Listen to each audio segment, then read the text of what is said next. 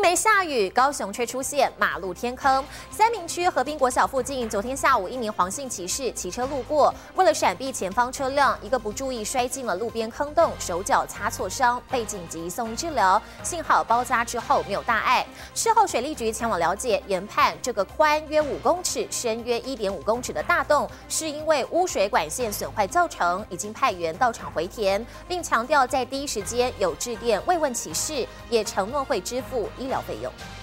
救护车来到事故地点，一名穿黑衣的男子满身鲜血蹲坐在路边。仔细看，他身旁的马路上竟有个巨大坑洞，因为他骑车掉进里头，摔得满身伤。这条路个唔捌咧讲迄个讲石道啊是安那样啊，拢唔捌。啊，雄雄的安尼嘛唔知影呢。离谱状况就发生在十六号下午，当时黄姓骑士骑车路过三明区河滨国小附近，却为了闪避前方车辆，一头撞进马路上的大洞，连人带车摔飞在地。就衰落啊，造成他该远的受伤。那个部分是有一些那个皮肉擦伤。